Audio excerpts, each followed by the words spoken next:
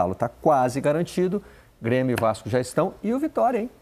O Vitória garantiu que no ano que vem teremos a maior participação do Nordeste na Série A do Campeonato Brasileiro de 20 clubes. Né? Serão cinco times. Bahia, Vitória, Fortaleza, Fortaleza, Esporte e Ceará. E Ceará. E olha para você. E tem três do Norte também. E vendo aqui, três ó, do Norte na, na Série na B. Série B, na Série B. E vendo aqui, você vai ver o Fluminense, o Gols Pro, ele tem 31 gols apenas. O Criciúma tem 41 e o Bragantino tem 37. Então ele está ganhando aqui de Cuiabá e Atlético Goianiense que já foram.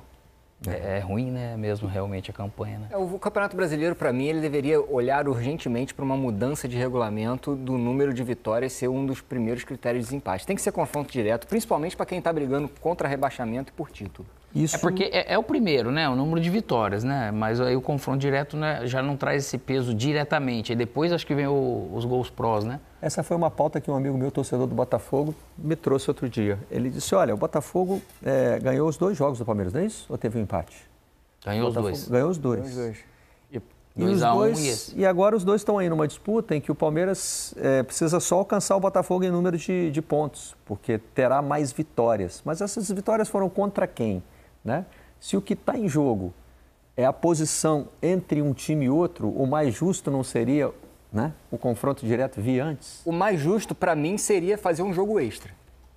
Para decidir um campeonato. Para decidir um campeonato, um rebaixamento, para Um mim, cara o de mais justo seria um jogo extra. Mas é Porém, não tem data. Não tem data. Não É tem o data. mais justo ou é o mais emocionante? Acho que é o mais emocionante. Mais justo, eu não sei se é. É, mas aí o- Ou, e também assim, mais justo, menos justo, É, tem que- sempre um grau de aleatoriedade. É uma escolha que se faz pelo E regulamento. como também o regulamento já é muito conhecido, já se sabe que você vai precisar trabalhar atrás de vitórias, né? Para você não ficar nessa situação. Ó, e só para deixar claro, esse meu amigo, torcedor do Botafogo, é a favor do confronto direto em qualquer caso, e não só porque o Botafogo, porque o Palmeiras... Mas é assim, Seria justo, As Botafogo ligas. seria o justo também. certo? É assim Uma nas grandes ligas, na, na liga inglesa, liga italiana, você tem, teve uma época que tinha o, o jogo extra para definir rebaixado Na ou não. Copa, não é assim? Na Copa o quê? Na Copa do Mundo. O quê? Eu acho que se, é, acho que se tiver uma... No, no, no fase de grupos. Na fase de grupo. Ah, sim, sim. Tiver um empate ali para decidir quem passa e quem não passa de fase, é o, é o Tem- confronto é o direto que decide, né? É. É, me parece justo. Bom, Ponto importante. Tenho certeza que o presidente Dinaldo está assistindo, porque ele diz que ele assiste sempre o troca Oba. de passe. Aí já pintou uma ideia já para tem, ele. uma, já tem uma ideia aí para pensar. Não dá para o ano que vem, né? Quando se Não, mexe no não, regulamento, a gente, a gente fala sempre do... Mas pro ano que vem dá para consertar a camisa, os uniformes dos times para ficar mais nítido, né? Uma numeração mais, mais padronizada. Fazer algumas, é. algumas exigências É maiores. que às vezes as né? camisas fazem isso, eles complicam até a, a, a CBF na hora de aprovar. Fala, gente, não tem muita diferença, não tem como fazer milagre, né, cara? É o que tem para escolher. Daí escolhe às vezes algo que fica parecido ainda. Bom, e o Fortaleza também saiu oficialmente da briga pelo título brasileiro nessa rodada, né? Vamos ver então os melhores momentos da vitória do Vitória, né? Sobre o Fortaleza.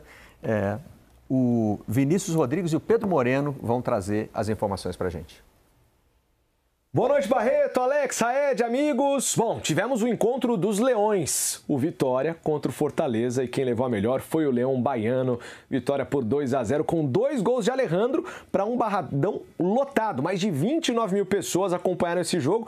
Para opostos de tabela, né, Pedro Moreno? Um Vitória que poderia, com a vitória, se livrar do rebaixamento contra o Fortaleza, que se vencesse ainda teria chances matemáticas de título. Mas um grande jogo tivemos em Salvador, amigo. É isso, um abraço para os amigos ligados no Troca e uma vitória incontestável da equipe baiana, né? Desde os primeiros minutos merecendo, iniciando o jogo de maneira é, agressiva, conseguindo encontrar as principais oportunidades, conseguiu chegar ao, ao gol, ao primeiro gol muito cedo, com oito minutos é, de jogo, uma jogada na movimentação, essa jogada, a movimentação interessante do Mosquito lá pelo lado esquerdo, cruzando essa bola na área. O Alejandro, agora artilheiro do Campeonato Brasileiro, junto com o Yuri Alberto, os dois com 13 gols, parecendo com muita liberdade dentro da pequena área para abrir o placar para o Vitória.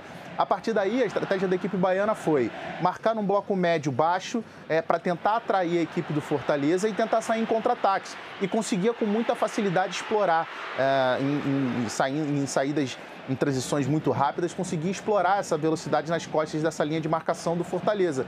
Que, por outro lado, tinha muito mais posse de bola, chegou a ter 60%, 65% de posse de bola, mas que não conseguia finalizar na direção do gol. É, não conseguia criar grandes chances, grandes oportunidades. A primeira finalização do Fortaleza na direção do gol só foi acontecer é, no segundo tempo já. E, e aí a, a equipe a Cearense acabou ficando muito refém de cruzamentos na área. Foram mais de 30 bolas levantadas na área, né? justamente pela dificuldade. O Vitória chega ao segundo gol é, nesse, nesse lance infortuito do João Ricardo, que é um dos melhores goleiros do Campeonato Brasileiro, mas a bola, como é que o montinho artilheiro, né? Justamente a regularidade do gramado, a bola bate no gramado, vem na canela do João Ricardo e sobra para o Alejandro. E aí é muito mais, como eu disse na transmissão, né? Eu prefiro muito mais dar o mérito do Alejandro de estar tá ligado na jogada, conseguir se aproveitar é, ali do lance do que exatamente uma falha do João Ricardo, porque foi um lance ali de azar. E aí, para o segundo tempo, o Voivoda faz alterações, coloca o time mais para frente, entra com o Caleb no lugar do Hércules, mais um meia para tentar auxiliar o Poquetino na construção, na articulação. Mas a verdade é que o, o Vitória o tempo todo teve muito mais próximo do terceiro gol do que o Fortaleza de diminuir o placar. Claro que quando você entra com o meia no lugar de um volante, você fica ainda mais exposto. Só que o Fortaleza, com a posse de bola, não conseguia criar, não conseguia é, chegar ao gol.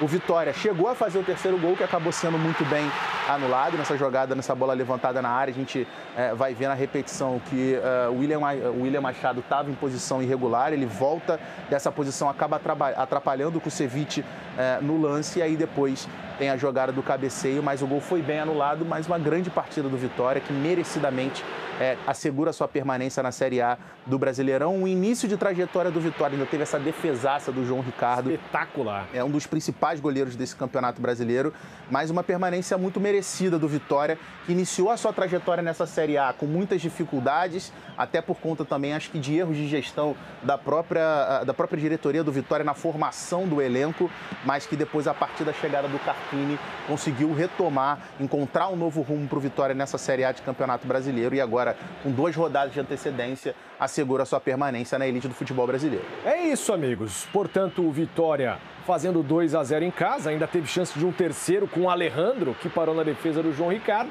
Detalhe curioso, né? O Vitória esteve na zona do rebaixamento por 17 rodadas e agora, faltando duas, consegue se livrar de qualquer possibilidade do rebaixamento. Do outro lado, Fortaleza, 18 rodadas no G4, dessa vez caindo para a quinta colocação. Abraço, amigos. Bom programa para vocês. Obrigado, Vinícius. Obrigado, Pedrão. É, então vamos aproveitar, já que eles terminaram falando em chance de rebaixamento, que o espião estatístico já me passou o serviço completaço aqui. Opa! Brum. Então temos remotas possibilidades de Vasco, muito remotas mesmo, 0,25%. Grêmio, 1,63%. Só para falar que tem, né, algo, é. né? E Vitória, 1,74% de chegar à Libertadores, via é, fase pré-grupos. Sim. É, são combinações de resultados seis, assim, né, muito né? difíceis de alcançar, mas elas ainda existem. Ainda existem resultados que levam até o Vasco para a, a Libertadores.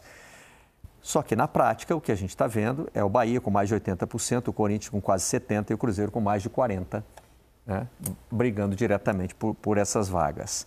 É, já com relação. Não, agora o que eu tenho aqui são. É, números sobre os gols da rodada. O Fortaleza foi o único time que não marcou. Né? Foi uma rodada bem prolífica, assim, em termos de gol. E é, foi, aliás... Um, e foi um time azarado, né? O Fortaleza? Porque você viu o lance daí que o, é. que o Tite vai recuar, pega bem na, na, na, na... Na, na linha, linha, da pequena área, a bola, ela aqui. Que... E aí mata o João Ricardo, que faz foi um uma, excelente Campeonato Brasileiro. É, foi uma rodada muito prolífica. A rodada com mais gols no Campeonato Brasileiro. 36 rodada, 36 gols. Dos jogos tudo, tensos. Tudo redondinho. O pessoal tá é. acertando bem. É que tá é. na prática, né? Tá bem praticado já. O pessoal tá calibrando na pontaria. E ele, né? né? Artilheiro Alejandro. Alejandro San? Ou Alejandro da Lady Gaga, né? Pode ser também. Barreto, eu te falei aqui pro Alex antes. Olha lá agora o lance, ó. Alejandro que alcança o Yuri Alberto. Olha aí, ó. Ai, que pecado, cara. Alcança o Yuri Alberto na artilharia do campeonato, né? Os dois agora têm 13 gols. Quer uma curiosidade sobre Alejandro e Yuri Alberto? A seleção brasileira sub-17 de, de 2017, que é a geração do Paulinho do Galo e do Vinícius Júnior do Real Madrid, foi campeã sul-americana com um atacante e o reserva desse atacante era o Alejandro. Quando chegou no Mundial, foi todo mundo, menos Vinícius Júnior, que não foi liberado. Aí entrou o Elinho, que depois foi vendido pelo Bragantino, né? Agora que a gente viu. E o Alejandro saiu dessa seleção e quem entrou nessa seleção para ser reserva do atacante titular foi o Yuri Alberto. Então eles disputavam posição hum. nessa seleção brasileira. E sabe quem é o atacante? Quem é esse atacante? Esse atacante que era o titular. Ah, eu sei, mas porque você falou antes, ah, então não, não vale. Então eu, vou, eu, vou, roubar. É. Era o Lincoln. O Lincoln que jogou no Flamengo, revelado pelo Flamengo, e que, a começou super bem. Começou né? super bem, mas que ficou marcado pelo, pela chance de empate desperdiçada na decisão contra o Liverpool. Saiu do Flamengo para ir para o Japão, né? Que inveja dessa memória. Por onde anda? Você pedisse aí para mim, pro Felipe Diniz, tá lascado. É, né? Ah, o HD nosso faia rapidinho, né? Para mim também. O que, que você falou agora mesmo? Faia. Não, mas pelo menos o que me falaram aqui no ouvido eu guardei. É hora do intervalo. Estamos já com troca de passe.